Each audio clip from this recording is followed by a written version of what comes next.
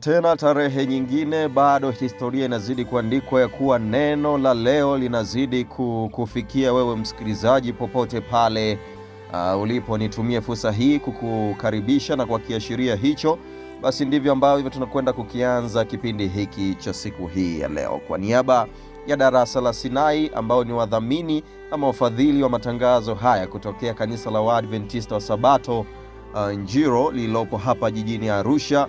Mimi ninaitwa Kija Mpunzi na leo tena tuna nafasi uh, tunayo fursa nyingine ya kuwa naye mchungaji Eli Mshitu ambaye huyu amezidi kuwa mbaraka katika kipindi hiki, na leo analo somo zuri, ni kuhakikishia kuwa msikilizaji basi hautajuta kulisikia, na nikuambie tu ya kwamba waweza kumwalika rafiki uh, au kumtaarifu rafiki mwingine ili aweze kushiriki mbaraka huu kwa kumwambia uh, frequency za mkoa wake popote pale alipo. Kama ni Moshi utamwambia 93.1 na kadhalika, na hapo tutakuwa tukizidi kuhabarisha wengine habari njema kupitia sauti ya matumaini. Na hapa uh, tayari mchungaji ana somo zuri ambalo amekwisha kuliandaa leo. Uh, unazungumzia usitamani basi hii tamaa ya nini? Tamaa kwa mlengo mbaya au kwa mlengo mzuri, au tamaa haina mlengo?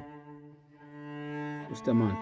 Nisitamani nini sasa pasta? Nimeona gari zuri Mhm. ambalo mimi na mimi ninatamani niwe nalo, ila uwezo sina. Somo litafafanua. Somo litafafanua. Yeah. Haya bwana, usitamani mke wa jirani yako. Hilo ni fungo. Uh, Asante sana um, ndugu Kija kwa mbaraka wako ambao umeendelea kuwa mbaraka katika vipindi hivi. Na ndugu msikilizaji, kama wewe ndiyo mara yako ya kwanza kushiriki nasi katika vipindi hivi, ikiwa ndipo umefungulia redio pendwa ya Morning Star popote pale ulipo, ikiwa umefungulia uh, kingamuzi chako, labda umefungua Rock FM katika maeneo yote tunakukaribisha kama wanasinai. Tunatambua Mungu ameendelea kuwa mwaminifu katika maisha yako. Sasa tumeendelea kuwa na neno kuu la mikutano hii inayosema jipe moyo, utashinda, na kitabu kile cha Yohana ya 16 mstari wa 33 ndilo limekuwa neno letu kuu. Hebu tusome 16 fungu lile la 33. Maandiko matakatifu yanasemaje? Maandiko matakatifu katika kitabu cha Yohana 16:33 Ndiyo. neno la Mungu linasema, Mm. hayo nimewaambieni mpate kuwa na amani ndani yangu. mm -hmm. Ulimwenguni mnayo ziki, -hmm. lakini jipeni moyo, mm -hmm. mimi nimeushinda ulimwengu. Tuombe. Mungu wetu na rafiki unayeishi juu mbinguni,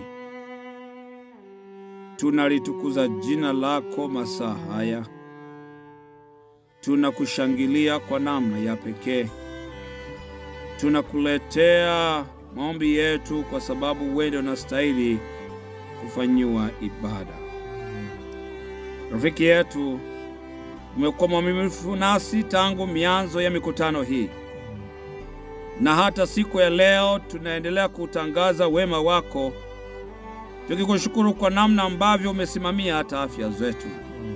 Tunakushukuru hata kwa namna ambavyo umeendelea kumsimamia msikilizaji huyu.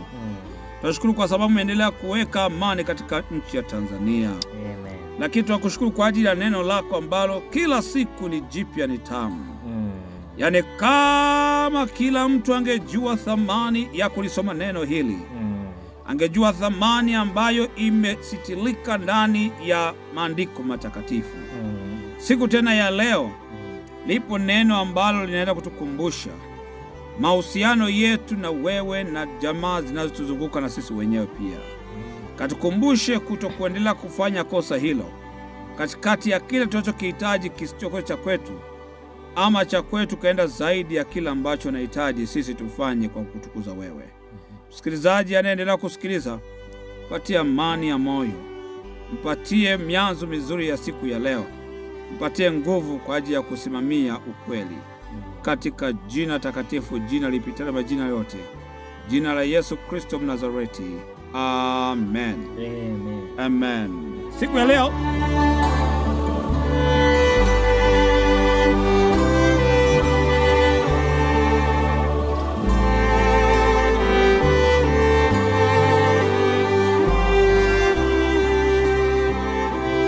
kama zingine zilivyo, ninakuja kwako kukuletea tenda katika mifululizo yetu ya maelekezo ya Mungu, amri kumi za Mungu. Leo tuko katika amri ile ya mwisho ambayo inajikita kutoka kile kitabu cha Kutoka 20 mstari wa 17. Inasemaje? Karibu msomaji. Asante pasta. Katika kitabu cha Kutoka 20 ndio mstari wa 17 ndiyo, neno la Mungu linasema, linasemaje? usiitamani nyumba ya jirani yako, Usiitamani nyumba ya jirani yako. usimtamani mke wa jirani yako, ndio wala mtumwa wake, ehe, wala mjakazi wake, ndiyo, wala ng'ombe wake, ehe, wala punda wake, wala ni tena. wala chochote alicho nacho jirani yako. Biblia inasema usitamani, anasema nyumba ya jirani yako, Mm, mke wake, mm, mtumwa wake, mm, ng'ombe zake, punde ikiwa nazo, kwa maana yake kwamba wanyama wake, mifugo yake, na anajumuisha kusema chochote. Kisoma Yakobo moja na ule mstari wa Yakobo moja mstari wa kumi na tatu uh, kumi na nne soma. Yakobo moja mstari wa kumi na nne Yes. neno la Mungu linasema Ehe, lakini kila mmoja hujaribiwa na tamaa yake mwenyewe ehe. Huku akivutwa na kudanganywa. Kila mmoja hujaribiwa na tamaa yake mwenyewe. Biblia inasema ya kwamba na hiyo tamaa ikishafanyaje, endelea.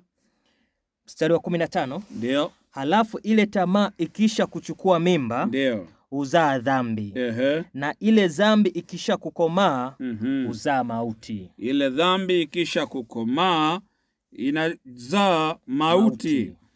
Biblia inatuambia kwamba dhambi ya kutamani ina matatizo, Mm. na kwa sababu ina matatizo uh, tunapenda kujifunza, tutajifunza kwa nini kutamani. Biblia imeso, imetoa maelekezo hayo. Na rafiki yangu, sikiza, katika amri kumi pia inamaanisha kwamba usitamani kitu kupita kiasi. Yawezekana ukatamani uh, kwamba siku moja ikali sehemu ya, ya, ya, ya, ya mipango yako, siku moja niwe kama fulani. Hiyo mianzo sio mibaya ya kufikiri, kutamani niwe kama fulani. Dhambi yake nakuja, kwani dhambi ikiwa unafikiri na hatimaye unasema wewe ndo ukakimiliki kutoka kwenye mikono yake.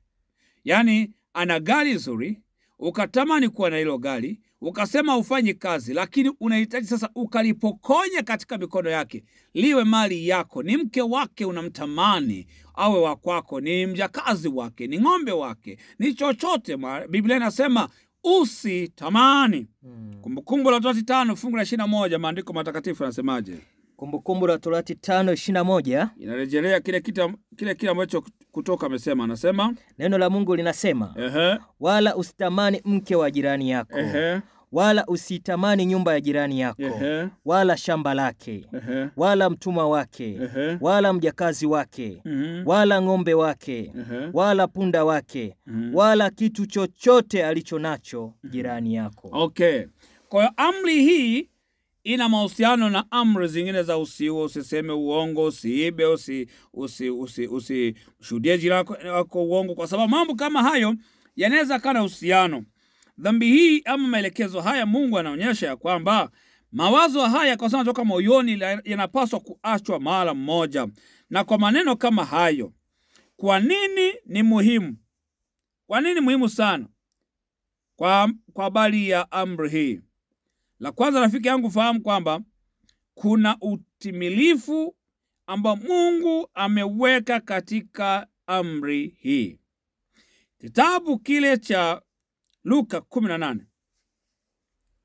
mstari wa 18 mpaka 25 anasemaje msomaji? Kitabu cha Luka 18 Namna ambavyo Yesu anataka kuyaweka pamoja hizi amri anapomwambia mtu fulani aliyemwambia ni mwema, alimwambiaje? Luka 18 20 18 mpaka 25 Luka 18 18 mpaka 25 neno la Mungu linasema linasemaje? tena mtu mkubwa mmoja alimuuliza akisema Mm. Mwalimu mwema, nifanye nini ili nipate kuurisi uzima wa milele? Yesu akamwambia, mbona unaniita mwema? Hakuna aliye mwema ila mmoja, naye ndiye Mungu. mm -hmm. Wazijua amri? usizini, usiue, usiibe, usimshuhudie uongo, waheshimu baba yako na mama yako. Akasema, hayo yote nimeyashika tangu utoto wangu. Yesu aliposikia hayo, alimwambia, umepungukiwa na neno moja bado, viuze ulivyo navyo vyote, ukawagawie maskini, nawe utakuwa na hazina mbinguni, kisha njoo unifuate. Lakini aliposikia hayo alihuzunika sana, maana alikuwa na mali nyingi. Yesu alipoona vile alisema, kwa shida gani wenye mali watauingia ufalme wa Mungu? 25. Mm. Kwa maana ni vyepesi ngamia kupita katika tundu la sindano kuliko tajiri kuingia katika ufalme wa Mungu. Oho, Yesu anapoongea na huyu huyu tajiri, huyu mtu mmoja ambaye alikuwa na uwezo mkubwa, lakini akahitaji tu kum, kum, kumjaribu Yesu, kuhitaji kuelewa uelewa mkubwa wa Yesu Kristo, na kwa sababu Yesu ni Mungu uh, Yesu ni Mungu, anajua ya moyoni, akajua hila ya yule rafiki, na alivyoitambua hila ya yule rafiki, alianza kumwongoza katika amri, na yeye akaamua kutoa maelezo hayo. Na moja kati ya maelekezo kama hayo, Yesu alimpatia kazi ya upendo, kuacha vya kwake vyote akathamini hivyo. Na moja kati ya dhambi Yesu aliyoiainisha ni habari ya kutokutamani. Sasa Yesu alipokuwa akipitia orodha ya amri pamoja na kijana huyo, alio kusimama na kuona vitu fulani.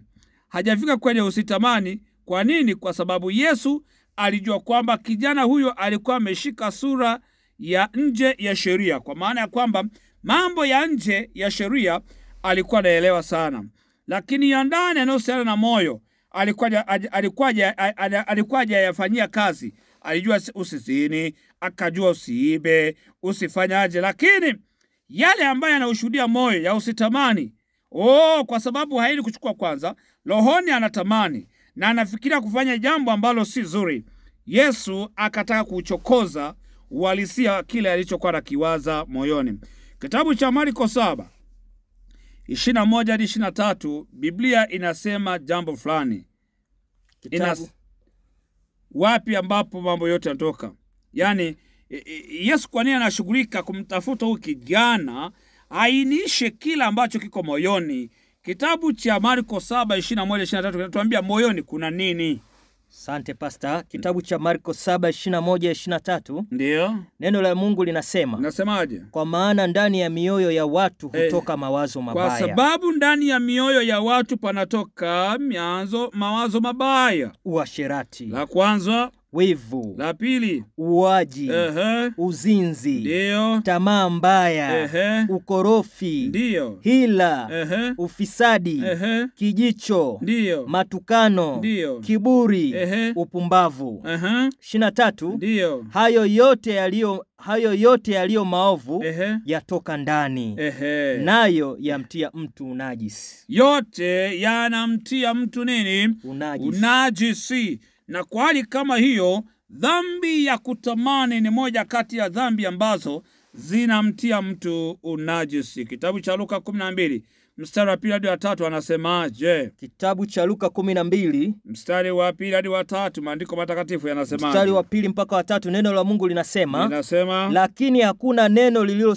lililositirika ambalo halitafunuliwa Mungu anayajua ya ndani. Anapoongea na kijana huyu, aliamua kuingia ndani ya moyo wa kijana huyu, akajua shida ya kijana huyu ni nini. Ehe, anasema wala lililofichwa ambalo halitajulikana. Ehe, mstari wa tatu Ndiyo. basi yoyote mliyosema gizani ehe, yatasikiwa mwangani. Ehe, na mlionena sikioni mwa mtu katika, vum, katika vyumba vya ndani Mm. yatahubiriwa juu ya dari. Mm, kwa hiyo Mungu ni Mungu pekee anayeweza kuamuru na kujua yaleko ndani ya moyo na kwa sababu hiyo Yeremia pia anasema ya kwamba uh, tusiisome, lakini Yeremia anasema kwamba Mungu anasema mimi ni Bwana ninauchunguza moyo Mm. yaani mawazo ya moyo Mungu anayatambua na kwani kama hiyo Mungu anasema usitamani Mm. mali ya ndugu yako,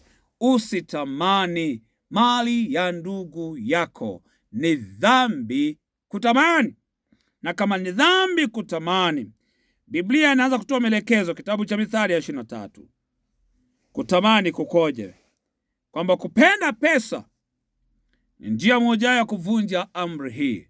Ngoja nikwambia rafiki yangu, waweza ukawa wewe ni mtu unafanya biashara, unahitaji fedha, na kila mtu anahitaji fedha, lakini tamaa ikikukamata, utaanza kufanya dhambi ya wizi, kumwibia mwenzako ili kwamba wewe umiliki hiyo fedha. Kwa nini? Kwa sababu unatamani.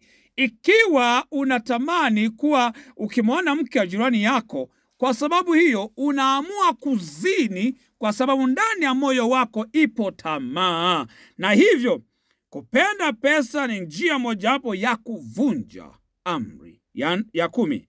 Mithali ishirini na tatu nne mpaka saba anasemaje? Kitabu cha Misali 23 Mm. mstari wa nne mpaka wa tano neno la Mungu linasema Ehe. usijitaabishe ili kupata utajiri, Ehe. acha kuzitegemea akili zako mwenyewe. Ehe. Mstari wa tano Ehe. inasema je, Ehe. utavikazia macho vile ambavyo si kitu? Ehe. Maana bila shaka mali hujifanyia mabawa Ehe. kama tai arukae mbinguni. Mm. Kwa hiyo kumbe, tunapotafuta mali, ni ukweli, ni vizuri tutafute mali, lakini tamaa ikizidi, utapenda kujilimbikizia. Kuna watu wana mali nyingi wamejilimbikizia, lakini ukiulizia uhalisia wake, kuna dhambi ya tamaa iliyowaathiri, wakachukua vitu vingine, wakawacha wengine wanapata shida. Kwa sababu hiyo, dhambi hiyo imekuwa tabu, na Mithali anatuambia wakati fulani, kama mali ilivyokuja kwa spidi inarudi kama kwa, kwa spidi kama ilivyokuja, kwa sababu ikiwa umepata mali ya kuto kutoa jasho, haukutumia muda wako kuitafuta kwa haki, itapeperuka, itaondoka. Ku, kutamani kwa maana ya kumwathiri mwingine, Biblia haikubalia nayo. Mithali sita, eh, Mathayo sita mstari wa kumi na tisa hadi mstari wa ishirini na moja na Timotheo ishirini na nne Mathayo 6 mstari wa 19, hadi ishirini na moja na Timotheo ruka kwenda ishirini na nne 6:19 mpaka 21. Neno la Mungu linasema, linasemaje? msijiwekee hazina duniani, msijiwekee hazina duniani, nondo na kutu viharibipo, ndio na wevi huvunja na kuiba, Aha. bali jiwekeeni hazina mbinguni, Mm. kusikoharibika kitu mm -hmm. kwa nondo wala kutu Ndiyo, wala wevi hawavunji ndiyo, wala hawaibi, ndiyo. Kwa kuwa Mhm. hazina yako ilipo Kwa kuwa hazina ya mtu ilipo, ndipo utakapokuwapo na moyo wako. pale hazina ya mtu inapokuwepo na moyo wake, uchoyo wa zaidi ya kila ambacho kutumia kinaweza kaingia kwenye dhambi hiyo. Rafiki yangu, nakwambie, ukimchukua Mungu pamoja na mali, Mungu ni mpaji wa vitu vyote. Mali ni sehemu ya vitu vinavyotokana na Mungu. Ndio maana ile kitabu cha Zaburi ya ishirini na nne msomaji anapokwenda kuisoma Zaburi ya ishirini na nne mstari wa kwanza inathibitisha ya kwamba mali ni za nani. Zaburi ya ishirini na nne maandiko matakatifu yanasemaje? Zaburi 24 mstari wa kwanza, Ndiyo neno la Mungu linasema linasema nchi na vyote vijazavyo ni mali ya Bwana, nchi na vyote vijazavyo ni mali ya Bwana. dunia na wote wakaao ndani yake. Aha, kwa hiyo kama dunia na vyote vikaavyo mali yake ni mali ya Bwana, Mungu ametukumbusha ya kwamba tusitamani tusitamani mali ambayo si ya kwetu, tusitamani vitu ambavyo si vya kwetu. Wapendwa na msikilizaji wangu, popote pale ulipo, ni kukumbusha kwamba mali isiyokuwa ya kwako ni dhambi, ni dhambi, ni dhambi. Mwache Bwana ajipatie utukufu kupitia kile ulicho nacho. Nikwambia rafiki yangu msikilizaji, ya kwamba katikati ya maisha haya tusipompatia Mungu nafasi ya kutawala akili zetu na mali zetu na hisia zetu na matamanio yetu, tutaingia kwenye dhambi ya kutamani hata vile ambavyo si vya kwetu. Na hivyo sasa, maandiko matakatifu yanatuambia kitu kingine ambacho kinaonyesha ni chanzo ama ni sehemu ya kuonyesha dhambi hii. Kitabu cha Luka kinasemaje? kumi na mbili kumi na tatu mpaka kumi na tano Luka 12 ndiyo. mstari wa 13 mpaka 15, Ehe, neno la Mungu linasema eh, mtu mmoja katika mkutano akamwambia, mm, Mwalimu, ndiyo. Mwambieni mwambie ndugu yangu anigawie urisi wetu. Ndio. Akamwambia Mm. mtu, wewe ni nani aliyeniweka mimi kuwa mwamuzi au mgawa, mgawa, mgawaji juu ya, juu yenu? Ehe. Mstari wa kumi na tano Ehe. akawaambia angalieni, Ehe. jilindeni na choyo, Ehe. maana uzima wa mtu Ehe. haumo katika wingi wa vitu Aha, vyake alivyo navyo. Uzima wa mtu hauko katika wingi wa vitu vingi mtu alivyonavyo isipokuwa akawambia ehe, mstari wa kumi na sita akawambia misali aha, akisema, Oko- kumbe tumeisha kumi na tano. saa kumi na tano Yesu anatoa utaratibu wa namna ambavyo mali zetu zisivyokuwa na faida katika maisha haya. Uchoyo ni sehemu mojawapo ya inayodhihirisha dhambi ya kutamani.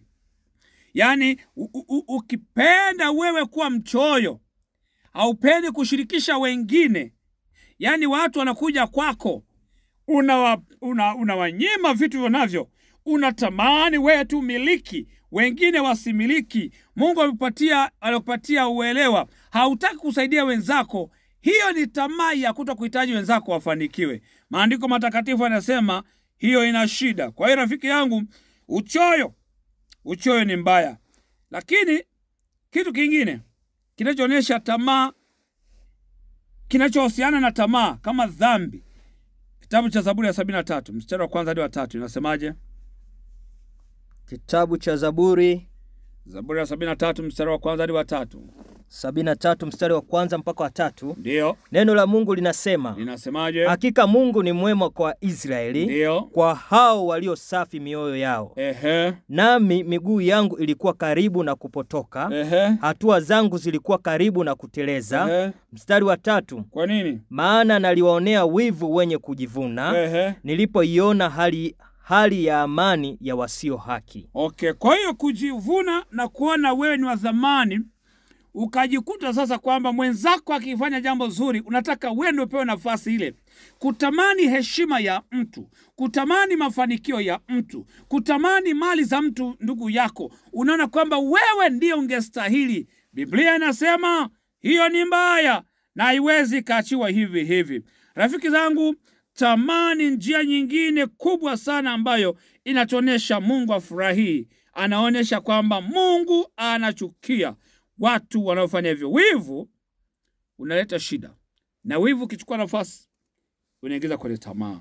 Kitabu kile cha Mithali kumi na nne kumi na tatu anasemaje?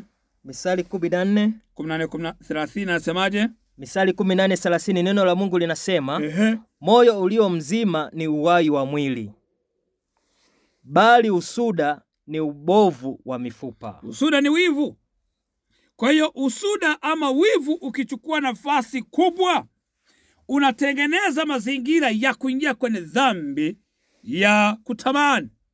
Rafiki yangu, kutamani ni shida, kutamani ni kubaya, kutamani mali ambayo unadiliki una, una kuona wewe ndio ungemiliki, sio mhusika yule, lakini kiwa unatamani kwa maana ya kusema mbona huyu rafiki ana shamba, nikamuulize namna ambavyo alipata shamba, lakini nimuulize namna ambavyo analima. Hizo ni namna nyepesi na nzuri za kuonyesha kwamba umetambua nafasi ya mtu, kwa nini yeye amefanikiwa, na kwa tamaa hiyo njema unahitaji na wewe siku moja unayo, kwa maana ya kwamba na wewe tumie muda wako mzuri bila kuathiri uwezo wa mtu, bila kuathiri uh, afya ya mtu, bila kumdhuru mtu, na wewe ukawa hivyo hivyo. Biblia inatuambia ya kwamba hilo nalo ni chukizo mbele za Bwana. Kitabu cha Mhubiri nne mstari wa nne hadi wa sita anasemaje? Kitabu cha Mhubiri nne mstari wa nne mpaka wa sita Ndiyo, neno la Mungu linasema linasemaje? tena nikafikiri, nikafikiri amali zote Ehe, na kila kazi ya ustadi ehe, ya kwamba inatoka katika mtu kupigana na mwenzake. ehe, Hayo nayo ni ubatili na kujilisha upepo. ndiyo, Mpumbavu ikunjua mikono yake, ehe, naye hula chakula chake mwenyewe. ndiyo, Mstari wa sita na neno la Mungu linasema ehe, heri konzi moja pamoja na utulivu ndiyo. kuliko konzi mbili pamoja na taabu na kujilisha upepo. Kwa hiyo Biblia inatuonyesha jambo la msingi sana hapa. Afadhali konzi moja pamoja na utulivu kuliko konzi mbili za taabu na kukimbiza upepo. Manake nini? Bado watu wengi wanaongozwa na wivu maishani. Suleimani aliona kama haya ni upepo tu.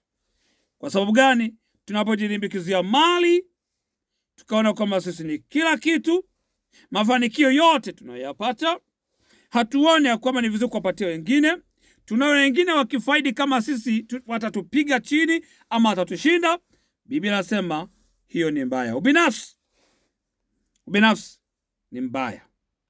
Ubinafsi ni ndugu yake na tamaa, yaani ubinafsi ni ndugu yake na tamaa. kumi na mbili Luka kumi na sita hadi ishirini na moja Kitabu cha Luka kumi na mbili kumi na sita hadi ishirini na moja kumi na sita mpaka ishirini na moja neno la Mungu linasema Inasemaje? Akawaambia, akawaambia misali ndio akisema, Ehe. shamba la mtu mmoja tajiri lilikuwa limezaa sana. Ehe. Akaanza kuwaza moyoni mwake Ehe. akisema, ndio. nifanyeje? Maana sina pa kuyaweka akiba mavuno yangu. Ehe. Akasema, nitafanya hivi, ehe. nitazivunja ghala zangu, ndio. nijenge nyingine kubwa zaidi, Ehe. na humo nitaweka nafaka yangu yote na vitu vyangu. ndio.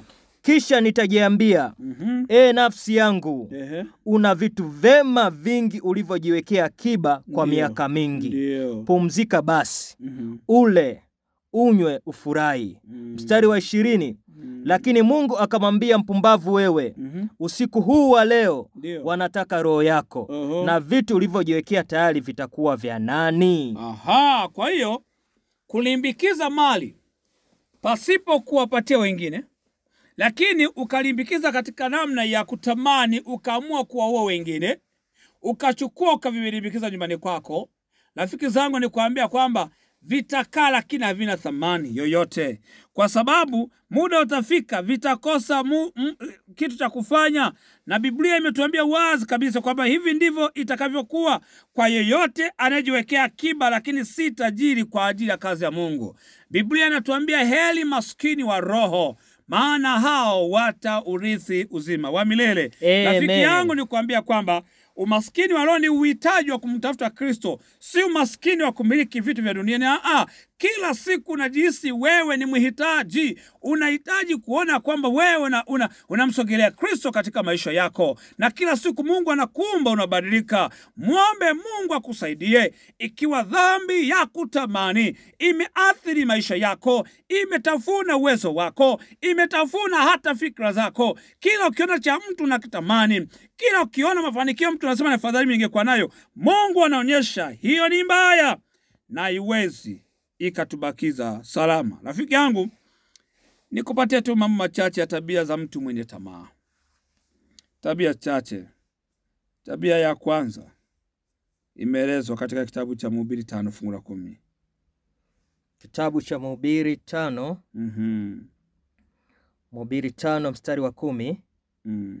neno la Mungu linasema, apendaye fedha hata shiba fedha.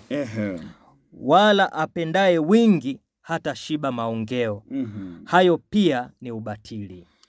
Sam, uh, uh, Suleiman anatuambia sio mbaya kutafuta fedha, mm. lakini tabia ya mtu ambaye anata, anatamaa Mm, ni mtu ambaye atatafuta fedha akidhani itamsaidia, mm, na haijawahi kuwa baraka fedha.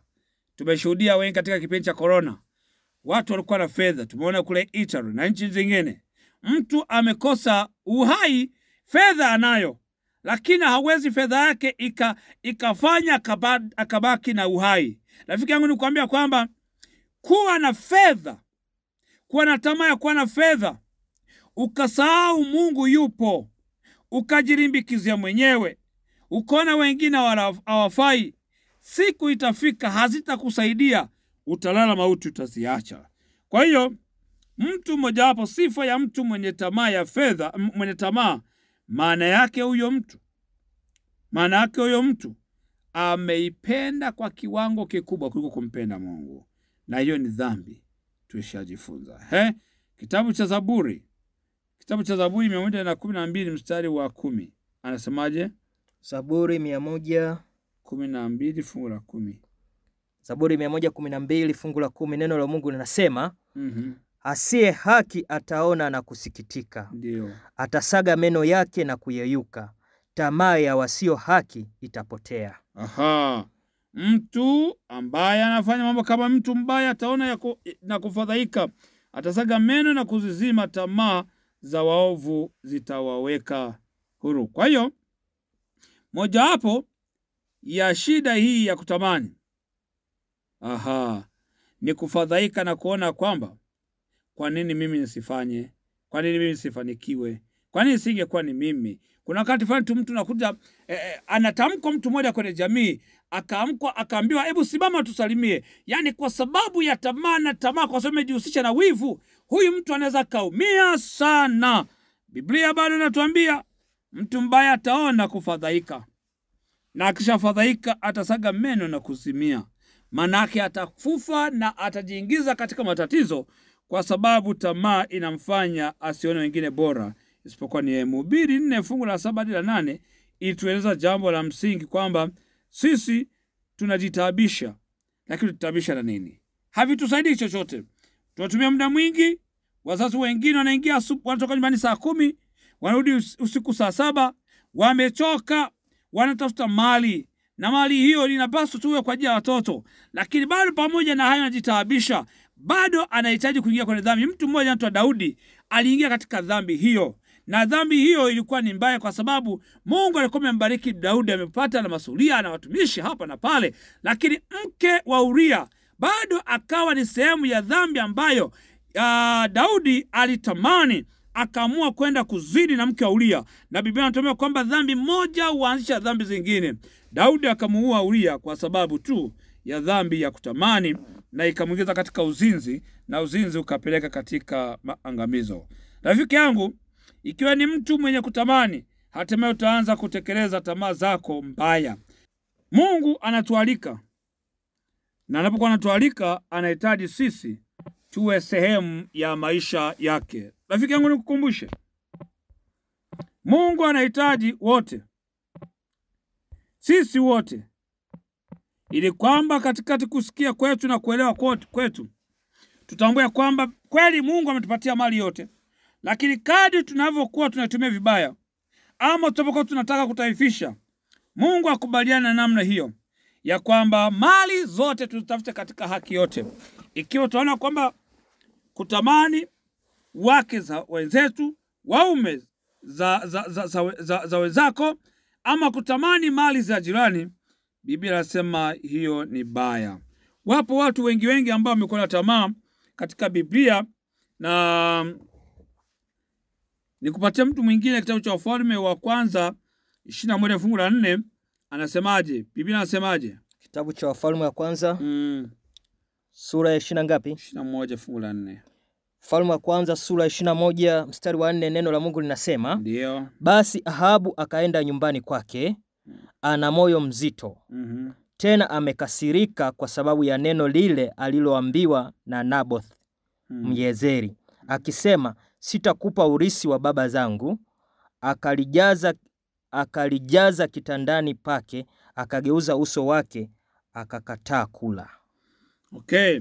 Kwa hiyo namwangalia mtu kama huyu mfalme Ahabu, ni tamaa tu, ni tamaa, na unamwona huyu mtu akimpatia maelekezo ya kutosha. Hapa alikuwa na mfalme wa Israeli mwenye mali na nguvu za ajabu, akilegea kitandani mwake na kukata kataa kula, kwa sababu aitaka shamba la mizabibu liwe la kwake. Yeye na mke wake Yezebeli hatimaye walimuua Naboth ili kupata shamba lake la mizabibu. Rafiki yangu, nikwambie dhambi ya kutamani. Ikiwa utatamani kitu cha mtu na akakataa kukupatia, wengi wao wameua, wengi wameua ili kwamba wamiliki hicho kitu. Biblia inatuambia maneno ya msingi ya kwamba hilo ni chukizo kwa Bwana. Yupo Yuda. Yuda aliwa- ali- aliwauliza nini makura- makuhani kabla hajamsaliti Yesu, kitabu kile cha Mathayo 26 mstari wa 15 mpaka 16. Soma msomaji. Kitabu cha Mathayo 26 E, mstari wa 15 na hadi wa 16. 15 mpaka 16, neno la Mungu linasema Ehe. akasema, Mm. ni, ni nini mtakachonipa nami nitamsaliti kwenu? Ehe. Wakampimia vipande thelathini vya fedha. Tokea wakati huo akawa akitafuta nafasi apate kumsaliti. Kwa hiyo rushwa, rushwa, rushwa, rushwa ni sehemu ya, ya tamaa. Yaani tunapokubali kuchukua rushwa ili kwamba tumalize uhai wa mtu, tuutoe uhai wa mtu, Biblia iko radhi na namna ambavyo tutatenda. Biblia iko radhi na namna ambavyo tutahitaji kujihusisha katika matendo hayo. Biblia inatuambia maneno haya ya msingi ambayo ninapenda niyasome kidogo kwako. Kitabu kile cha Zaburi ya 37 fungu la 16, maandiko matakatifu yanasemaje? Kitabu cha Zaburi 37 37 mstari wa 16, maandiko matakatifu yanasemaje? maandiko matakatifu yanasema, Zaburi Ndiyo. 37 10 16. 16, neno la Mungu linasema, Ehe, kidogo alichonacho mwenye haki ehe. ni bora kuliko wingi wa mali wa wasio haki. Kidogo alichonacho mtu mwenye nini? Haki Mwenye haki kina thamani kuliko nini? kuliko wingi wa mali Ehe. wa wasio haki. yaani kuliko mwi- wingi wa mali za watu ambao hawa- hawatendi haki. Ni heli kidogo ulicho nacho kuliko kuhitaji kujilimbikizia na tamaa zisizokuwa na maana. Biblia inatuambia ipo heri Mm. ya kuwa na vitu vichache, lakini ni mali yako stahiki, bila kuwa umeingilia mambo ambayo si ya kwako na ukayachukua. Kitabu kile cha Mithali thelathini mstari wa nane na tisa Suleiman anasema Mungu ampatie nini? Kitabu cha Mithali 30 Ehe, mstari wa 18 mstari wa nane na wa tisa au mstari wa nane na wa tisa Ehe, neno la Mungu linasema, ehe. uniondolee ubatili Uniondolee ubatili na uongo, na uongo. usinipe umaskini Aha, usinipe una- umaskini. wala utajiri. Si kwamba Sulemani hataki utajiri, a, anasema usinipe utajiri. Nikafanyaje? Anasema usinipe umaskini e, wala utajiri, wala utajiri, vyote viwili anasema asipewe. unilishe chakula kilicho kadiri yangu. Aha, si kwamba vitaji vyote viwili, lakini ana utaratibu anahitaji Mungu amfanyie. Mungu amlishe chakula kadri ya nini? Ya uwezo wake. Ehe, Mstari wa tisa ndio anasema nisije nikashiba nikakutukana. nikiwa na mali nisije nikakuona Mungu hauna thamani. Kuna watu kwa sababu ya mali walizo nazo, kwa sababu vyao walivyo navyo, kwa sababu tu ya elimu walionayo, hawamthamini Mungu, na Biblia nasema mpumbavu moyoni mwake anawaza na kufikiri ya kwamba hakuna nani, Hakuna hakuna Mungu. Mungu ni mpumbavu. Mungu wetu ndiye ametupatia vyote tulivyo navyo, tumpatie nafasi ya kwanza na wala sio kingine. Biblia anasemaje kuendelea? Nikasema, Bwana ni nani? Bwana ni nani? Wala nisio maskini sana, Ehe, nikaiba aha. na kulitaja bure jina la Bwana Mungu wangu. Kumbe tamaa inatufanya sisi sisi kutoridhika, Mm. na kwa sababu turidhiki, uh, Suleimani anasema Mungu, ninaomba kama ni utajiri na umaskini, uh, sivihitaji vyote, ila nahitaji kusimama katikati. Sitaki umaskini na sitaki utajiri ambao itafikia sehemu nikiupata nitakudharau wewe, mm. ama nikiwa ni masikini nitakuwa ni mtu wa kulalamika. Mtumishi wa Mungu anapatia maneno hayo, na kama hayo ndio maneno ya mtumishi wa Mungu, na Biblia kitabu cha Korinto wa kwanza saba fungu la ishirini anasemaje? Kitabu cha Wakorinto wa kwanza, ishirini na moja anasemaje? Wakorinto wa kwanza sura ya ishirini wa- Wakorinto wa kwanza saba fungu la ishirini na ishirini na moja neno la Mungu linasema, Wakorinto wa kwanza sura ya saba ishirini na ishirini na moja eh, kila mtu na akae katika hali ile ile ambayo alikuwa nayo alipoitwa. mm, Je, uliitwa umtumwa? mtumwa? eh, Usione ni vibaya, lakini kama ukiweza kuwa na uhuru, mm. afadhali kuutumia. amina. Kwa rafiki yangu, tuanze kuweka mipango hayo kwa Yesu. Huo ni wito Yesu anaotoa, na Biblia inasema kila mtu abaki katika hali aliyokuwa nayo Mungu alipomwita. Ikiwa Mungu amekupatia kiasi, ridhika nacho. Kwa nini? Kitabu cha Mhubiri tatu fungu la kumi na mbili na kumi na tatu asemaje?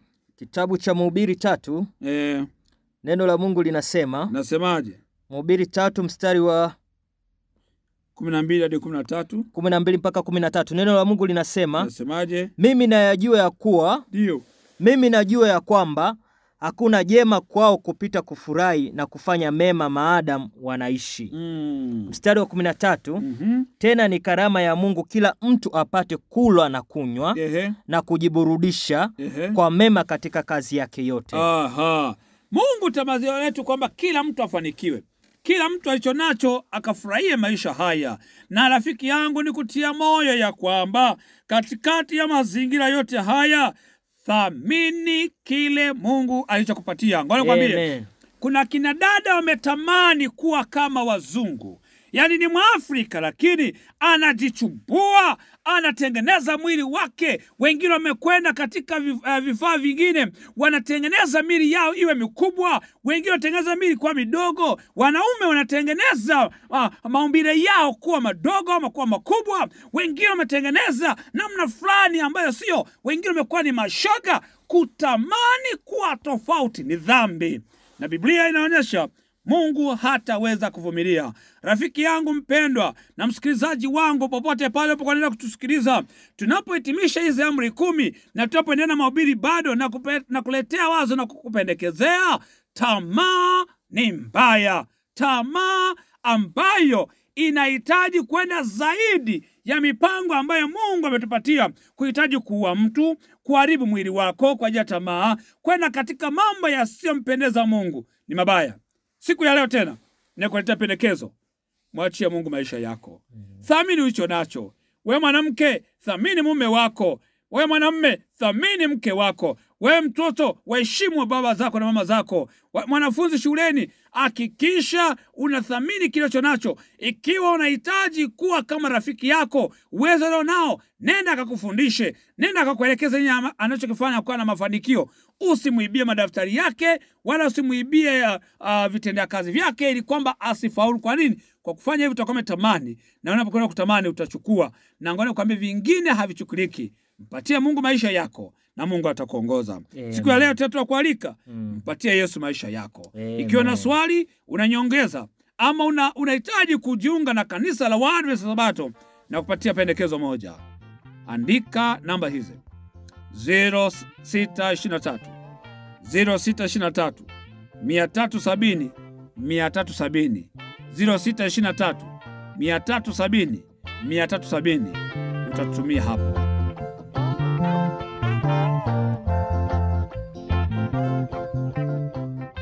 Tuombe. Rafiki yetu Yesu, tunakushukuru tena kwa masaa haya. Tunakushukuru kwa sababu umekuwa mwema kwa maisha yetu. Sasa ruhusu msikilizaji ukambadilishe wewe. Msa, msaidie msikilizaji akaweke maneno haya kwenye utendaji, ili kwamba akasikie raha ya kukutumainia wewe na kuacha kutamani. Tunaamini ya kwamba tena tupate siku ya kesho kwa ajili ya utukufu wako, kwa jina la Yesu Kristo, amen. Amen. Amen. Amen. Tuonane tena siku ya kesho.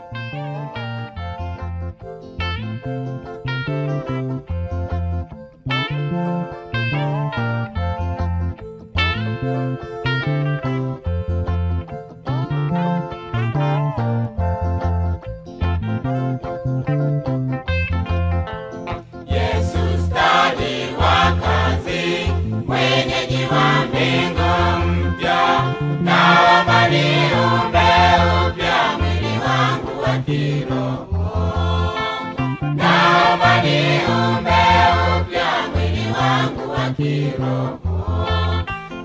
vile Enoka ulivyomchukua, naomba niumbe upya.